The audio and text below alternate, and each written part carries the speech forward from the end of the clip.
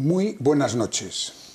Cantabria desde La Solana quiere en el programa de hoy abordar un asunto que es yo creo que muy importante en Cantabria, como es la Villa de Comillas, un lugar que no es solamente un centro de gran atracción turística, sino que es parte viva de la historia de nuestra tierra, de nuestra región, es decir, de Cantabria. Y para hablar de comillas, la mejor elección, estoy seguro, es la que hemos hecho hoy aquí en Cantabria desde La Solana, que por cierto se está grabando como últimamente en la biblioteca del Ateneo de Santander. Me refiero a, Juan Ramón de la Vega. Buenas noches. Buenas noches. Juan Ramón, conocido en comillas como Moncho, que es, me atrevo a decir con seguridad, la memoria viva de comillas y la historia directa y clara de lo que ha sido la evolución de un pueblín que prácticamente no conocía a nadie a ser ahora mismo un referente no solamente histórico-artístico, sino algo que pienso que deberemos abordar al final por lo menos de la entrevista, que es el haberse convertido en un lugar de veraneo al que vienen madrileños, catalanes, etcétera, y que está ya considerado como uno de los lugares de moda para veranear en el norte. Bueno, Juan Ramón de la Vega, eh, como he dicho, es memoria viva, porque mm, aunque él es ingeniero industrial, trabajó en Madrid, en un momento dado decidió eh, venirse, a comillas, a vivir permanentemente y a estudiar y trabajar sobre eh, los antecedentes de comillas. Además, tiene la ventaja de que por su ascendencia familiar tiene documentación y conoce perfectamente el desarrollo de la llamada Villa de los Arzobispos. Bien, en primer lugar, eh, esa vinculación a comillas y a la historia, ¿de dónde le viene?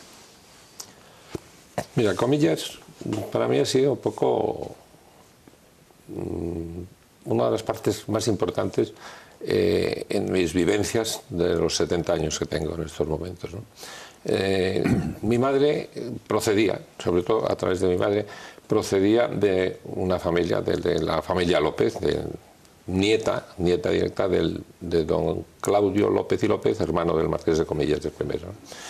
Entonces, como ella era la pequeña, de la hija pequeña, de la hija pequeña, pues murió hace muy pocos años, con 101 años, y era una, enciclopedia viva de lo que pasó en Comillas y de lo que ella recordaba de Comillas de aquellos años, eh, nació el año 11, pues de los 20 para adelante, lo dominaba todo.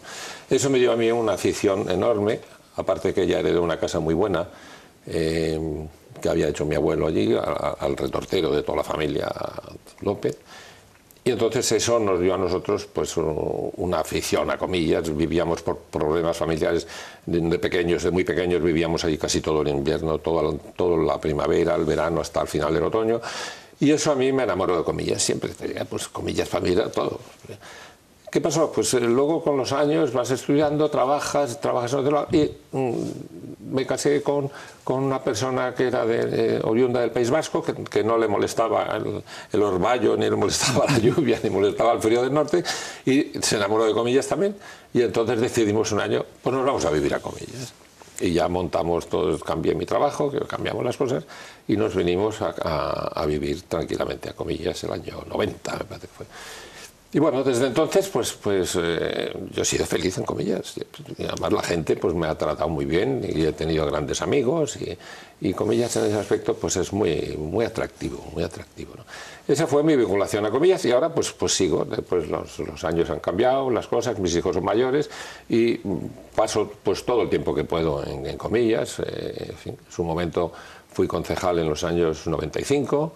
Eh, luego he sido y sigo siendo el juez de paz de comillas, que eso me da pues un acceso pues a solucionar cosas y a, informarle a la gente y, creo que, la gente está contenta conmigo en ese aspecto. ¿no?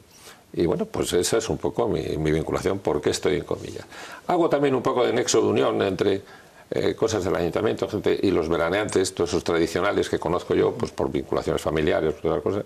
Y también eso me permite pues eh, hacer un poco una labor de, enganche entre pues los que tienen problemas, una consulta urbanística, una consulta de no sé qué, bueno, pues eh, siempre pues es más fácil que entre yo por el ayuntamiento y pregunte a todos los que conozco allí, oye, ¿cómo le podíamos solucionar esto a esta persona? Y bueno, pues esa labor también me satisface mucho. Tengo una actividad ahí en el ayuntamiento que me llena unas horas del día, tampoco tengo una vinculación diaria de tantas horas, pero mm, estoy satisfecho con ello, la verdad es que estoy contento con ese tema. Bien, pero eh, se ha dedicado últimamente a estudiar a fondo la historia de comillas y además publica todas las semanas en un suplemento comarcal del diario Montañés, bueno, estampas, historias de comillas, con, incluso con, ilustradas con fotografías antiguas, que son realmente una documentación excepcional para conocer el pasado de, eh, de la villa de comillas. Y aunque sé que es complicado, pero ¿podría hacernos un resumen de cómo un pueblín, que es lo que era comillas en el siglo XVIII, ¿eh? pasa a convertirse en, en, una villa que ahora mismo tiene un patrimonio artístico excepcional y que no se entiende muy bien si no es a través de una serie de familias y de circunstancias ese cambio en, eh, en comillas. Mira, como, prólogo te diré que esa, esa mm, me solicitaron un día la, corresponsal del diario Montañés en, Comillas, que es la de Cabezón, Lucía Alcolea, que lleva todo ese tema, y entonces estaban buscando a alguien que pudiera hacer unos comentarios sobre una parte que, alternamos, un, fin de semana es Comillas, otro fin de semana es San Vicente, o a veces Cabezón, y entonces sobre una fotografía antigua hacer un comentario. Bueno, yo creí que esto iba a ser una cosa de dos o tres fotos, cuatro. Bueno, pues llevo ya una friolera de casi 60 fotos, llevo casi tres años trabajando en eso. Eso me ha motivado mm, estudiar un poco, porque esas fotos al principio son fotos generales, pero luego ya he ido en casos concretos de casas, de, conjuntos, y ya pues he ido buscando quién eran los arquitectos, quién lo hizo, de qué años, y eso me ha dado una profundidad en el conocimiento un poco más fuerte, de comillas. Entonces sí te diré que comillas para mí es una cosa verdaderamente eh, original, que yo creo que, en España, en España en el norte, no se da en muchos sitios. Esa especie de núcleo urbano villa, de comillas, porque ahora mismo más, comillas, ha perdido mucho todo ese carácter que tenía rústico. Cuando yo era pequeño había vacas por las calles, de los barrios bajaban las vacas al Potro y al otro lado, a Fuenterreal, a, a beber y subían. Ahora mismo ya todo eso está urbanizado, precioso, lo han conseguido. Ya no tiene esa parte rústica que tengo. Pero, ¿de dónde viene comillas? Pues yo te diría, en un, resumen rápido, hay un comillas muy antiguo, Empiezas porque hay gente que ha, estado dándole vueltas a por qué se llama comillas, que si, que si estaba a cinco millas, que si no sé qué, que cumillas. Bueno, pues es un topónimo que, en realidad tampoco me ha interesado a mí mucho saber esa parte tan antigua. Eh, de hecho, si nos retrotraemos atrás, existían las cuevas de la Meaza y las cuevas que había por allí que debían de estar habitadas en su día. Pero bueno, comillas eh, sí que creo que, se empieza a desarrollar eh, a través de la pesca a través de la pesca que entonces era eh, la pesca de la ballena, porque existe la pesca y, existen datos de que se pescaban ballenas en aquella zona. Y hay todas unas tradiciones de las garitas sobre las que veían las ballenas, entonces salían aquellos enormes eh, personajes valentísimos con, aquellas blanchas, las traineras, con los arpones y tal. Entonces, eh, a partir de ahí se generan unas poblaciones que están pues adheridas a la parte de la playa, que es donde atracaban las traineras, pero que defendiéndose del clima se vienen un poco más a la parte de atrás del pueblo, ya a la Peña, a la zona de Santa Lucía, esa de ahí hay un, todo el montaje y toda la historia que hay, que es el de, la, de la iglesia, que hoy es el cementerio, de aquella polémica con el duque del infantado, pues porque hay una persona que se pone allí, bueno, eso ya es la gente que lo indaga ya lo sabe más, eh, que bueno, el pueblo se enfadó y decidieron en, en 1800 pocos, 1700, 1700 me parece, no me acuerdo ahora mismo exactamente la fecha, pero se hacen su iglesia nueva en, el, en mitad del pueblo, ¿no? con aportaciones de un día de, mareas para los fondos, que es un día de trabajo para trabajar ahí. Y bueno, pues duró como 80 o 100 años la, la, iglesia y quisieron hacer aquella iglesia enorme que cuentan en los libros de fábrica que sí iba a ser todavía más alta, pero que ya llegó un momento que los fondos no iban y dijeron, aquí hay que cortarlo. Y es, una iglesia pues magnífica, preciosa fenomenal. Bueno, todo eso es del siglo bueno, XVII, finales XVII, primeros Luego hay, luego hay una, una, aparición que es el tema de las minas. Cuando aparecen las minas de la sociedad Quirós y de Santander, que eran las minas que están en, en, Portillo, en la zona de Portillo, que luego eso acaba todo en manos de la Real Compañía Asturiana. Pero con esa minería eh, hay una propuesta de hacer el puerto. O sea, el puerto es de los eh, años muy recientes, de los 1800 poco, y además hay toda una documentación que está comprobada, que se hace el puerto con, fondos del Estado, y, eh, fondos particulares, pero luego pasa al Estado. Y bueno, e, ese puerto es el que empieza a generar ya todo un movimiento, pues no solamente de unos barcos muy importantes, hay fotos de unos barcos muy importantes que cargan mineral, yo creo que en esos años, porque no me consta, pero se hace el puente Portillo, que es el que da toda la, vinculación de comillas con Torre la Vega a través de, a través de la carretera de la costa. Después de eso, ¿qué ocurre? Que hay un personaje, que eso no, no, le puede pasar, que es don Antonio López, que se va a Cuba. Años, este año nace el año 15 y en los años... Bueno, el caso es que este hombre, con muchos avatares, mucha historia, podríamos estar aquí dos días hablando del tema, se va a Cuba y hace una fortuna es un tío muy inteligente, se casa con una chica eh, hija de catalanes ya afincados con, y entonces la dote que le dan y lo, y lo, que él empieza a generar y se mete en el tema. Está todo eso muy discutido sobre el tema de los, de los esclavos y de la venta de esclavos, pero que era legal entonces y estos hombres pues compraban y vendían fincas y compraban y vendían eh, mulos y compraban y vendían esclavos. pero sí que consta por lo menos que estos no hicieron ir a África a buscar negros y traerlos. Yo de defender esa batalla por el abuelo de mi madre, porque parece que siempre se ha discutido que si los negros venían de... Parece ser que no es así, que está comprobado por, gente que ha hecho unos estudios sobre la fortuna comillas. Bueno, el caso es que viene don Antonio López se está, a la vuelta de Cuba.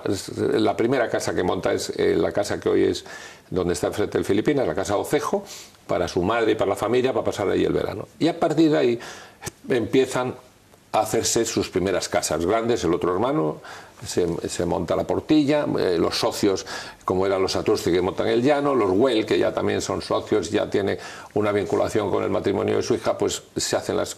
y se empieza a generar todo aquello. Y eso culmina eh, con la venida del rey Alfonso XII el año 1881 y 82. Eso ya es el boom. Cuando viene el rey allí porque quiere un poco, él le invita y quiere conocer quién es este mecenas que ha contribuido a la restauración borbónica y, que, que, ha facilitado tantas cosas que le han hecho marques de comillas, luego le hicieron grande de España.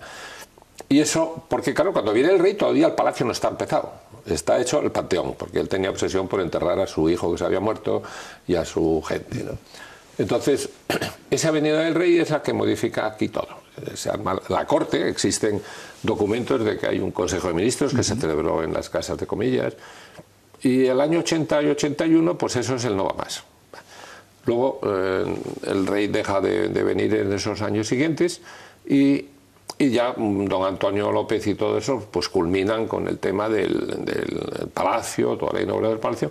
Y el que continúa eso, porque él muere pronto, él muere en los años ochenta y tantos después, es su hijo Claudio, el segundo hijo, porque el primero, que, parece ser que don Antonio tenía grandes ilusiones, pues eh, muere pronto con una tuberculosis, una cosa esa, y queda, queda, en manos de Claudio, que es un hombre pues muy, muy vinculado a la, a, la Iglesia Católica y entonces pues es el que, es que desarrolla toda la Universidad Pontificia, que es otro de los capítulos grandes de comillas, porque fue una especie de, una especie de forúnculo que sale en comillas, porque la vinculación de comillas con el seminario siempre fue muy distanciada. No se sabe muy bien por qué.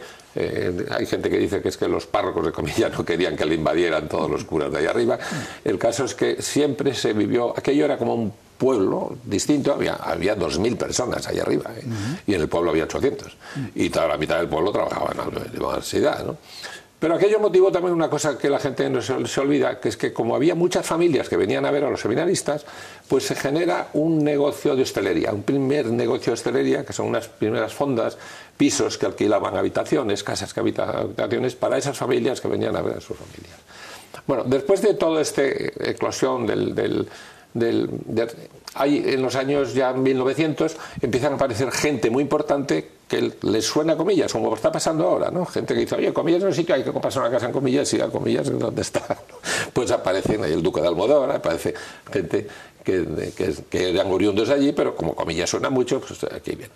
Entonces, esto mm, sigue eh, más o menos desarrollándose en los años 20, pues es cuando se hace el campo de golf, el de, de Ollambre, que es el tercer campo de golf de España, eh, se desarrolla aquí, porque hay una vinculación también en esos momentos el, segundo marqués de Comillas muere el año 26 y el, tercero, don Juan Antonio Huel, que es sobrino, porque no tenía hijos el primero, y entonces hay una vinculación también con la Casa Real a través de la Magdalena. El, rey Alfonso XIII le gustaba venir a jugar al golf, a comer en el golf y a practicar con las infantas y los hijos que tenían y los parientes un deporte que entonces hacían allí, llamémoslo deporte, que eran los aeroplayas, que eran unos coches con, que ahora se hacen triangulares, pero entonces tenían cuatro ruedas, una lona y una vela, y, corrían por la playa. Entonces, eh, parece ser que les gustaba mucho. El gol de Ollambe en aquellos años tenía teléfono, cosa curiosísima. Tenía un teléfono y había una línea que llamaban del Palacio de la Magdalena. Eso es lo que le he oído yo contar a mi madre. Que llamaban de la Magdalena. ¿Cómo está el nordeste hoy? ¿Se puede hacer la aeroplaya? Porque va a ir el rey a comer allí. Bueno, pues allá venía todo. Todos esos años fueron la, la grandeza de Comillas. Y Comillas se establece, se estabiliza con la Avenida de la República. Viene la República y entonces todo ese montaje del rey, del no sé qué, pues desaparece. Sigue manteniéndose comillas, muere antes justo el, segundo marqués, esto lo toma entre manos Juan Antonio Güell, y Juan Antonio Güell sigue manteniendo todo aquello. Juan Antonio Güell se dedica mucho, luego, pues un personaje en ese aspecto desconocido, al desarrollo de Santillana del Mar, que es el que hizo el parador de, Santillana y, es el que monta todas las casas grandes de Santillana. Y hay una persona familiarizada con ellos que es Mercedes Well, que hace el año cuarenta y tantos hace el Parador San Pedro.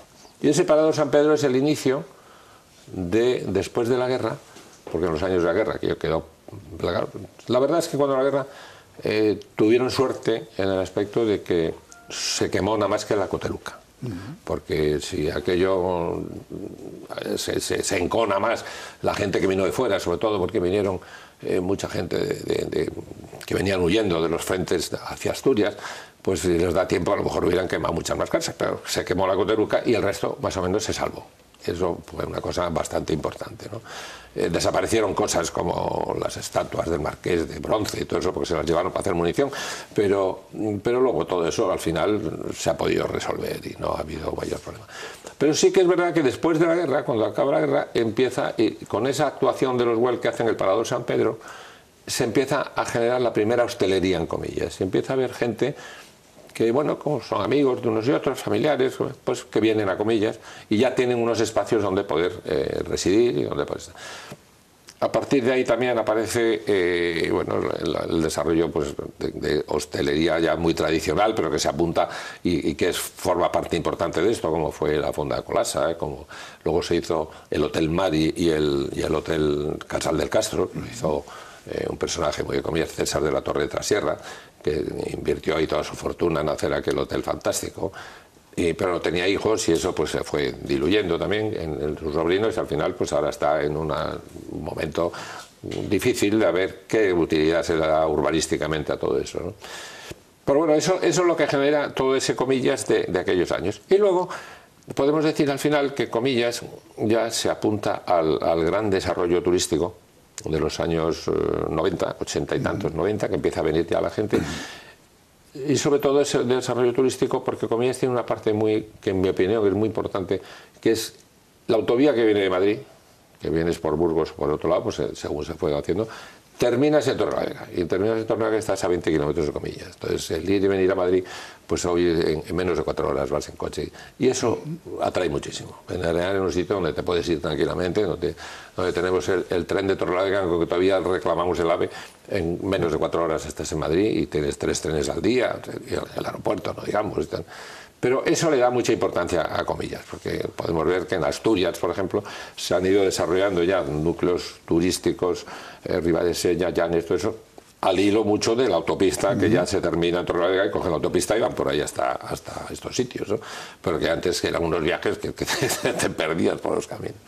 Esa es un poco eh, la historia. Y, y, hoy que vivimos, pues esa comillas ya enormemente desarrollado, con todo urbanizaciones, pisos, gente que ha venido de fuera. Eh, piensa que comillas en invierno hay 2.500 habitantes por ahí y en verano hay 25.000. O sea, pasa que está muy bien gestionado todo el tema del agua. Tenemos unos sistemas que nos, no, nos, eh, o sea, no nos lleva a tener restricciones ni problemas de agua. Ahora hay toda una maravilla que se hizo desde hace unos años que es las depuradoras, una depuradora subterránea que nadie conoce, pero que es una maravilla porque absorbe todo, todos los, residuos de Ruilova hasta, hasta el Tejo y hasta toda la zona alta de, de, de, Gerra. Y, eso la gente lo desconoce, pero claro, no, que no deja de ser un buen eh, equipo, ¿no? Para comillas. Y, y, esto es un poco la ¿En dónde estamos ahora mismo? Pues en una encrucijada que hay que mantenerlo, que hay que mantener este comillas vive del turismo y hay que desarrollarlo. Y hay una asignatura pendiente que es la Universidad Pontificia. bueno, esa es una pregunta. Hace unos años eh, se presentó lo que el presidente de Cantabria denominó como el proyecto del siglo, que era eh, la rehabilitación, que en parte ya se ha hecho, del edificio principal de, de la Universidad Pontificia, y que eso iba a ser un centro que durante todo el año iba a traer a muchísimos estudiantes, profesores, etc. Eh, ¿Cuál es la situación ahora del, proyecto Comillas en la realidad?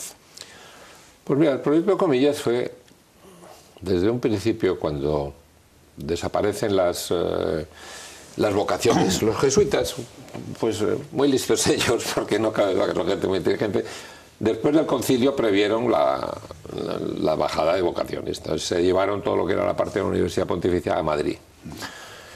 En Madrid se quedó un poco difuminada y lo que hicieron fue potenciarla con la incorporación al campus de la Universidad Pontificia de Comillas de lo que era ICADE y el ICAI, que eso es lo que le ha dado enormemente, una enorme importancia.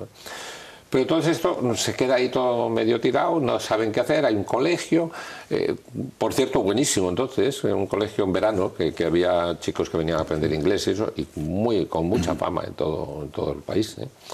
Eh, qué ocurre con la Universidad Pontificia? Pues que hay que darle una solución. Y en los gobiernos de Ormachea fue cuando se propone que lo compre Caja Cantabria.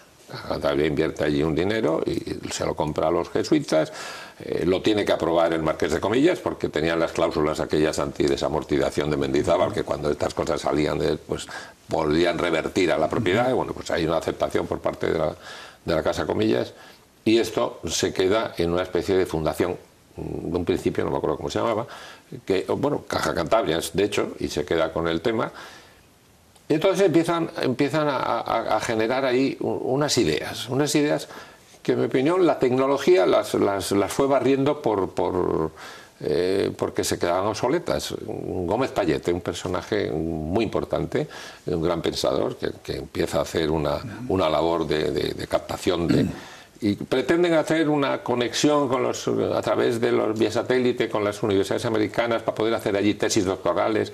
Pero claro, todo eso con el Internet se fue al traste, porque el Internet te permitía tener eso en casa. Entonces eso se va diluyendo, desaparece esta, estos principios. Y entonces luego ya generan esta historia de que el, tema del, de los, del aprendizaje del español, sobre todo para profesores de español en el mundo, que podía ser muy importante, porque claro, el español es un producto muy vendible, lo hablan miles de millones en el mundo. ¿no? Entonces llega un momento en que, en que esto se empieza a desarrollar, intervienen allí eh, una serie de, personas y de empresas importantes.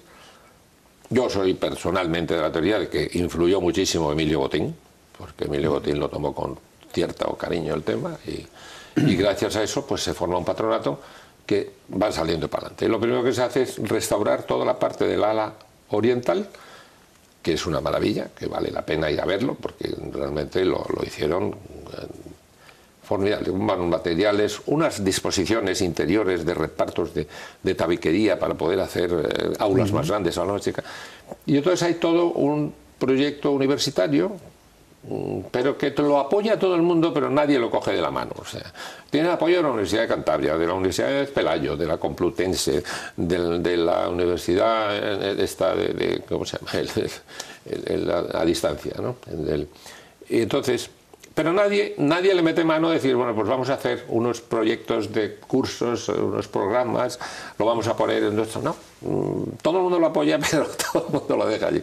Y entonces hay una buenísima voluntad por parte de gente que está ahí trabajando como locos y están haciendo cursos y vienen, viene gente, incluso pues hay unos programas de, familias que, albergan a, estudiantes.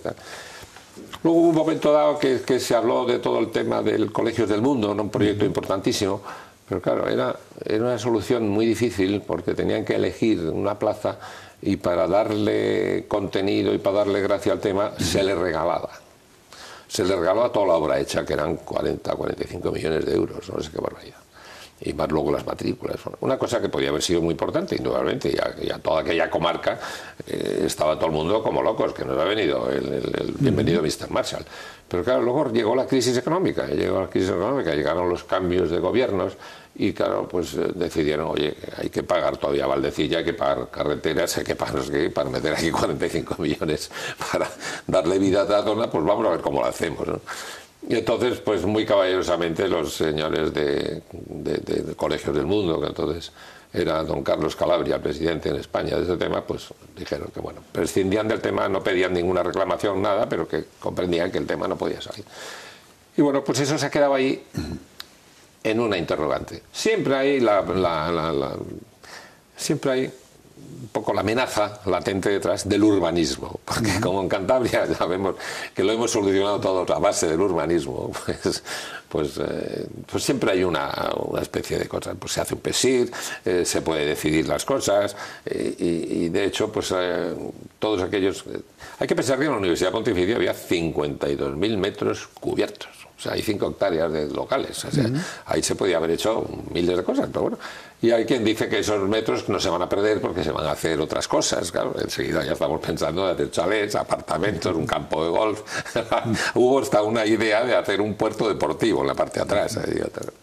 Pero sí que es una, una verdadera pena porque se ha quedado ahí el tema del aire y veremos a ver si con las cosas económicas en este país y en Europa puede salir y esto podría desarrollarse con otras ideas. Pero lo que está hecho vale la pena ir a verlo, la verdad es que lo trabajan, eh, en verano tienen unos cursos y unos eh, conciertos y cosas que son fantásticos. Y, y lo conoce mucho más gente de lo que nos creemos. ¿eh? En comillas no se le da. Seguimos como antiguamente. Eh, la universidad está allí, pero comillas está aquí. Entonces. Eh, bueno, para, para, finalizar, si tuvieras que elegir un rincón de comillas que sea tu sitio favorito, ¿cuál sería? Pues mira, un rincón de comillas precioso, precioso, es la iglesia de Santa Lucía. La iglesia de Santa Lucía fue una, capilla que se debió de hacer ahí antiquísima, que debió de, de, ser un poco uh, una marca de los barcos, de los barcos aquellos balleneros, y, porque es una pared blanca ahí arriba, tal, con su campana. Y, entonces tú te asomas allí y es un relax, porque ves toda la parte de abajo de la playa, todo, el puerto, eh, todo el atardecer del puerto, la estatua, y, ves las zonas, una de las zonas de comillas menos deterioradas, te quiero decir que que no cabe de comillas, se ha llenado mucho de, urbanismo, de casas, pero las han hecho bastante bien. O sea, comillas, no nos podemos quejar. No es, no es otras cosas que han hecho en Cantabria mucho más apelotonados y con muchísimo más edificación alta. Entonces estás ahí, ves la entrada de Portillo, te ves toda la parte esa y es un paseo precioso, precioso. Esos son los sitios que recomiendo. Pues eh, muchísimas gracias a Juan Ramón de la Vega, que eh, nos ha explicado la historia de comillas y que además creo que merece que el Ayuntamiento de Comillas le nombre cronista oficial de la villa, que no tiene en este momento y que eh, yo creo que haría una magnífica labor. Y por último, que esas crónicas sobre Comillas y esa zona de la costa cántabra, pues merece que sean publicadas en un libro, pues quizás para, de cara al próximo verano, porque además muchos de los visitantes demandan una publicación que les explique la historia de todo esto. Pues muchas gracias y buenas noches. A vosotros. Y espero hacer ese libro, porque quiero todos esos textos y esas fotos podía ser una cosa muy completa para que la gente sobre la marcha viera lo que es comillas y, una historia que humildemente yo he ido poniendo ahí, que tendré fallos y tendré cosas, pero las he estudiado todo lo posible. Y y ahí está, a disposición de todos. Pues muchas gracias y buenas noches.